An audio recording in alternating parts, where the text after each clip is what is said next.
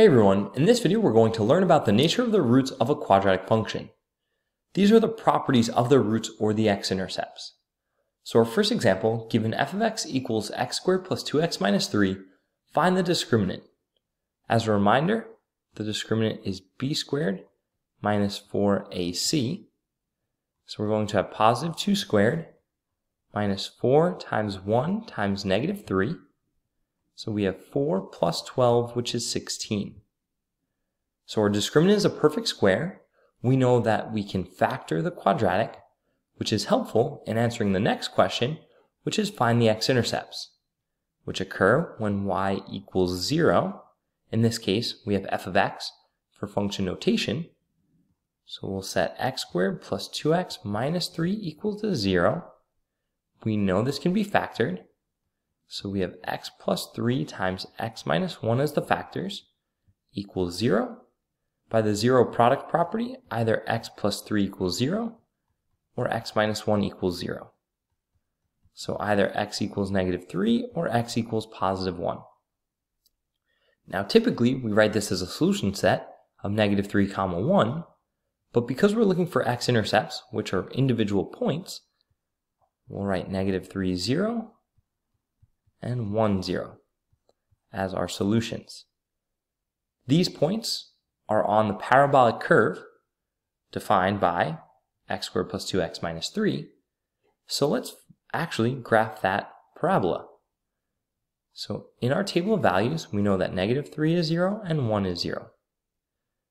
Axis of symmetry, well, we have two symmetric points, so we know the axis of symmetry is going to be x equals negative 1 which makes this point the vertex. That's helpful to know because it's going to make our life easier filling out the table. By symmetry, if we know what the output of negative 4 is, we'll also know what the output of 2 is. But let's start by finding the output of the vertex.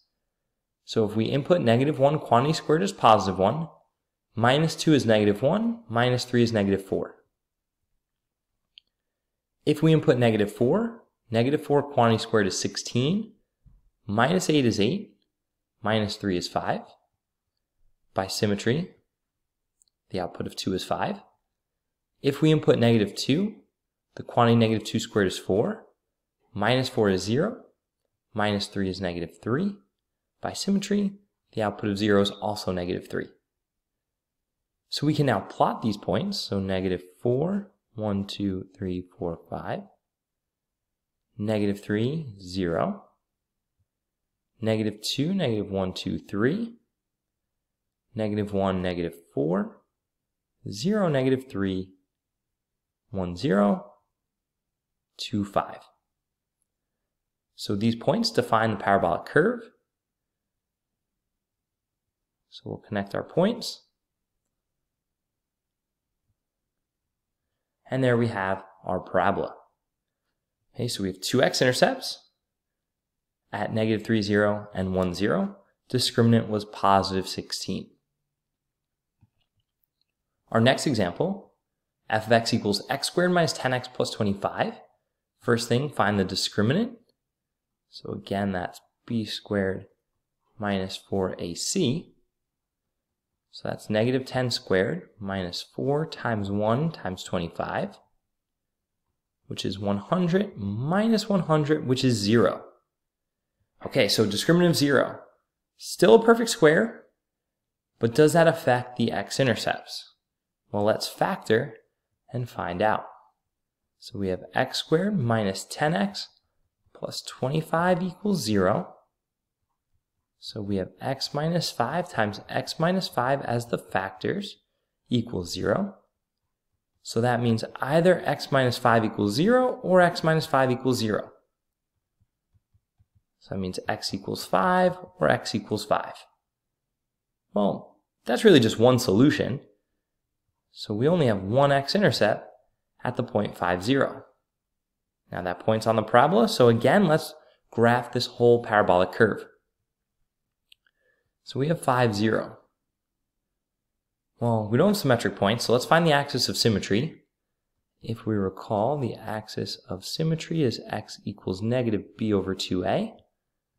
So that here is going to be positive 10 over 2 which is 5. So x equals 5. So that means that point, which was the x-intercept, is also the vertex.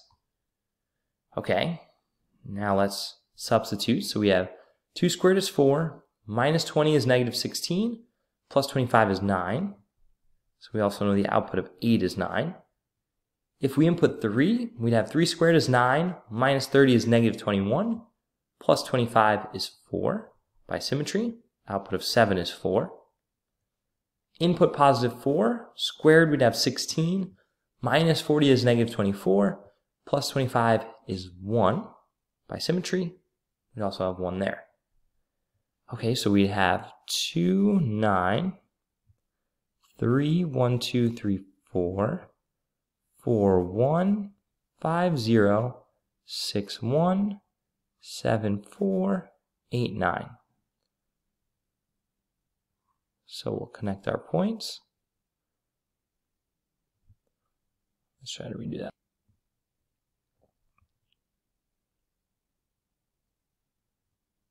It's a little better. Okay, so there's our parabolic curve.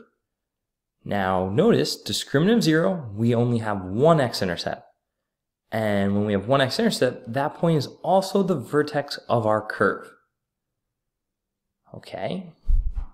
Next example, f of x equals x squared minus 8x plus 14. So we're going to find the discriminant. Again, b squared minus 4ac. So we have negative 8 squared minus 4 times 1 times 14 so we have 64 minus 40, 16 minus 56, which is 8. So now we don't have a perfect square discriminant. So when we set our function equal to 0, and we're trying to solve for the x-intercepts, we're going to need to use the quadratic function. So that means a equals 1, b equals negative 8, c is 14, and the discriminant is positive 8. So x equals negative b plus or minus the square root of the discriminant all over 2a. Square root of 8 we can simplify to be the square root of 4 times the square root of 2, which is 2 times the square root of 2. So we have x equals positive 8 plus or minus 2 times the square root of 2 over 2. In the numerator, we can factor out a 2, we're left with 4 plus or minus the square root of 2 over 2. The 2's simplify. And we're left with x equals 4 plus or minus the square root of 2. So our x-intercepts are 4 plus the square root of 2 comma 0 and 4 minus the square root of 2 comma 0. Now these are going to be irrational numbers but they're exactly where the x-intercepts occur. There are still two of them. Right? We had a positive discriminant. It wasn't a perfect square now. Okay, but we had two x-intercepts. Now graph using the table of values, well unfortunately, because our x-intercepts are irrational, they're not going to show up on the table. But we can find the axis of symmetry to help us out a little bit so x equals negative b over 2a. So that's going to be positive 8 over 2, x equals 4. Okay, so we know this point in the table is going to be our vertex. So if we substitute 4 in, we'd have 16 minus 32, which is negative 16, plus 14 is negative 2. Now if we input positive 1, we'd have 1 squared, which is 1, minus 8, which is negative 7, plus 14, which is 7. And we also know then the output of 7 is 7. If we input 2, we'd have 4 minus 16, which is negative 12, plus 14 is 2.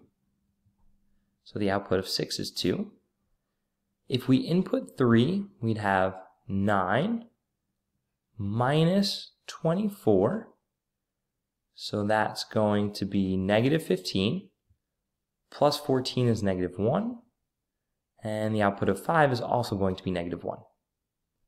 So we can plot our points. So 1, 7, 2, 2, 3, negative 1, 4, negative 2, 5, negative 1, 6, 2, and 7, 7. And we can connect our points to create our parabolic curve. And there we have our parabolic curve. Still two x-intercepts. Okay, 4 plus square root of 2.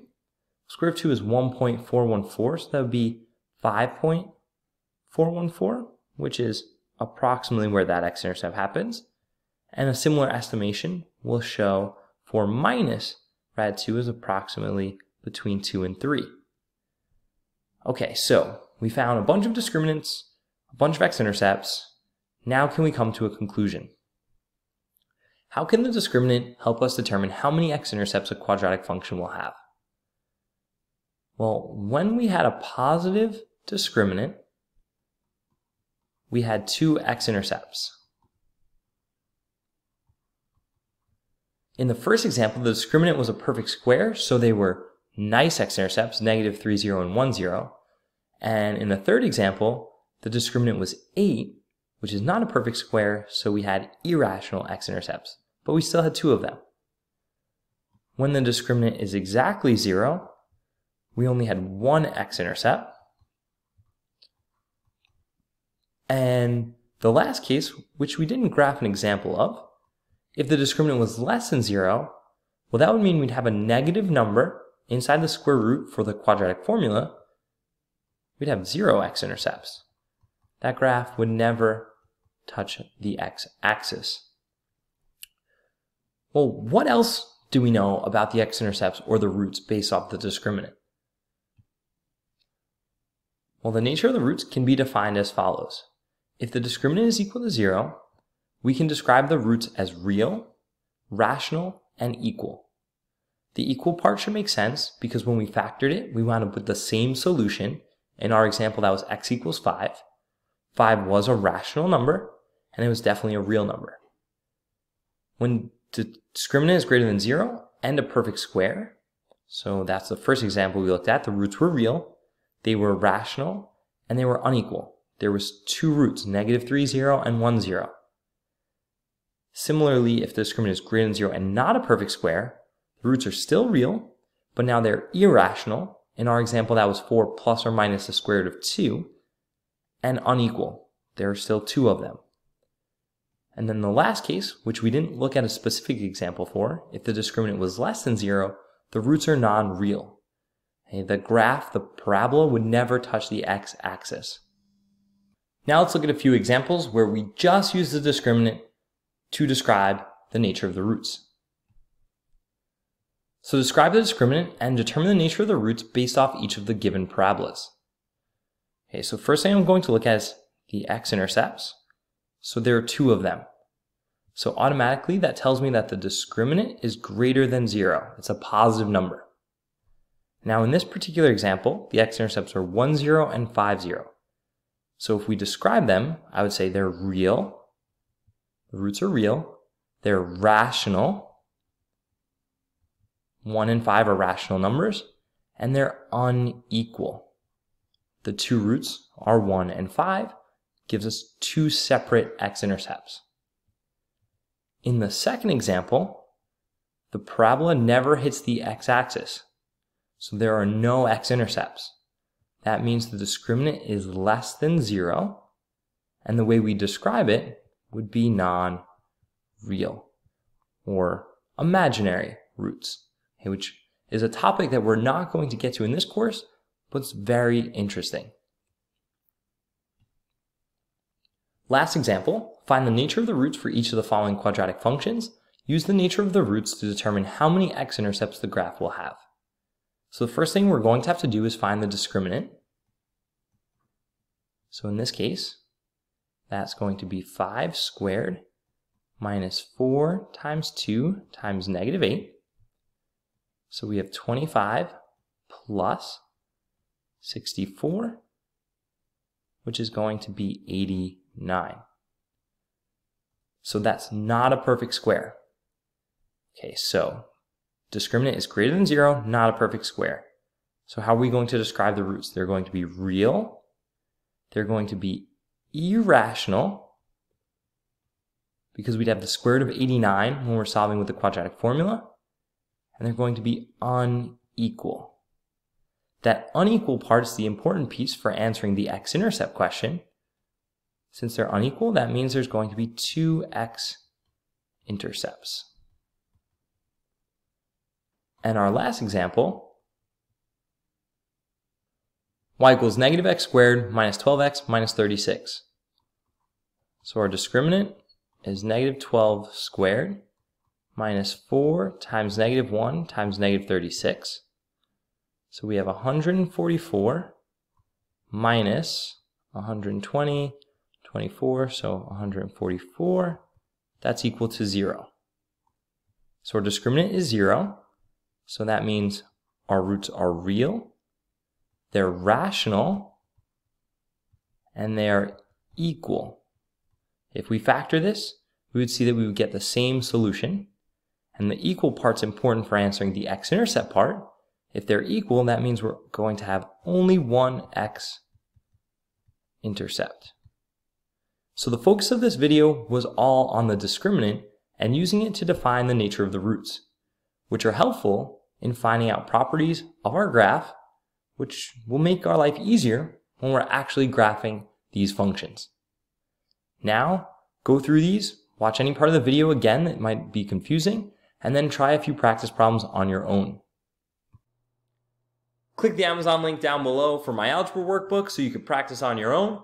Give the video a like, and before you go, click that subscribe button so you can see more videos just like this. Thanks for watching.